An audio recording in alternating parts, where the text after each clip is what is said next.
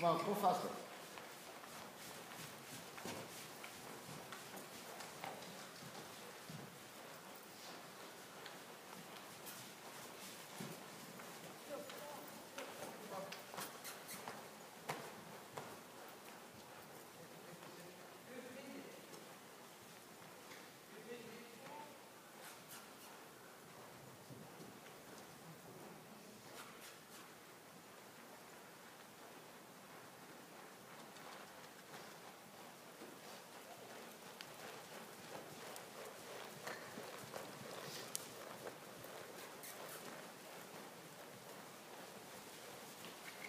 faster. Troca dali.